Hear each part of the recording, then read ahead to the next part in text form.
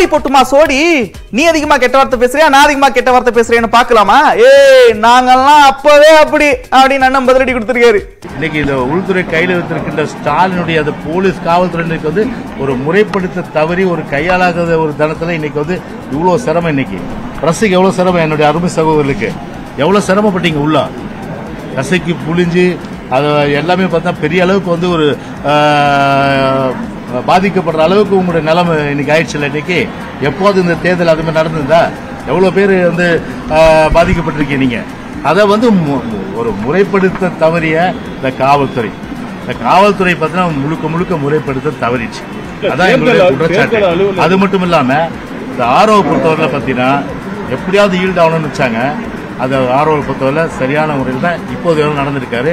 So இது தேர்தலை பொறுத்தவரை இனிமேலும் சரி அது மாதிரி நிச்சயமா ஒரு நியாயமா நடப்பான்ற அந்த நம்பிக்கை. சேகர் பாபு என்ன சார் சொல்றாருன்னா நாங்க தான் முத வந்தோம். எங்க சேர்ல உட்காந்துருக்கோம் பின்னாடி தான் அதிமுக வந்ததுன்னு சொல்றாங்க. ஆர்டிசி சொன்னாரு. சிசிடிவி காட்சிகளை பார்த்து தான் நாங்க சொல்லுவோம் சொல்லிட்டு.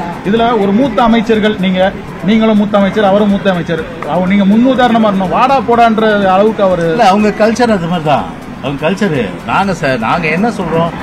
விதியில என்ன சொல்லியிருக்கு மரபுல என்ன சொல்லியிருக்கு ஆரோ சொன்னதை கரெக்டா பத்திரிகைக்கு சொன்னோம். இது ஆரோட்ட ஆரோக்கியம் பண்ணோம். அதிகாரியில் மிரட்டுறது கொச்சை கொச்சை கொச்சையான வார்த்தைகள் பேசுறது எங்களுக்கு பேச தெரியாத கொச்சையான வார்த்தை. நானும் காசு மட்டும் தான் பிறந்தவன் நான். வாங்க மேடை போடுங்க. கொச்சை வார்த்தை பேசலாம். நான் ஸ்டாப்பாக நான் தான் ஃபர்ஸ்ட் ப்ரைஸ் வாங்குவேன் அதில். நாங்க ரொம்ப கேவலமான ஆளு. எந்த லெவலுக்கு இறங்கி அடிமட்ட வரைக்கும் போய் அலசுவோம். பேசலாம். நான் ஸ்டாப்பா நான் தான் ஃபர்ஸ்ட் ப்ரைஸ் வாங்குவேன் அதில் அதில் ஒன்றும் மாறுபட்ட கருத்து கிடையாது ஒரே குழப்பமா இருக்குண்ணே. அவங்க ஏதாச்சும் பண்ணாலும் தோல்வி பயன்றீங்க. இவங்க ஏதாச்சும் பண்ணாலும் தோல்வி பயன்றீங்க. ஆக என்ன பண்ணாலும் தோல்வி பயம் ஆ? இப்படி நாள்பட நாள்பட தோல்வி பயத்தால் இப்படிப்பட்ட அராஜகங்களை கட்டவிழ்த்து விடுவார்கள். எல்லாவற்றையும் சந்தித்து களத்திலே நின்று கடுமையான போராட்டங்களை சந்தித்த இயக்கம் திராவிட முன்னேற்ற கழகம்.